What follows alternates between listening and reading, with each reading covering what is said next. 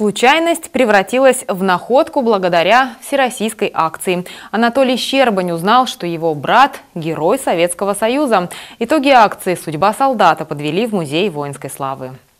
Весь июнь в Музее воинской славы проходила всероссийская акция «Судьба солдата». Задача – установление судеб пропавших без вести.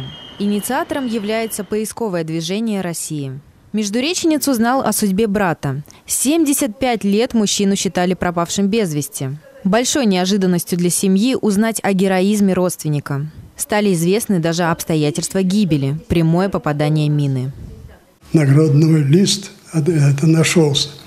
В наградном листе, о листе написано, что он погиб в бою при взятии станции Панари Курской области. Вот проявил подвиг, вот такой там описано все, командир части описал, как и посмертно присвоен звание Героя Советского Союза. Мы вообще-то уже э, четыре с лишним года ведем поисковую работу Музей воинской славы.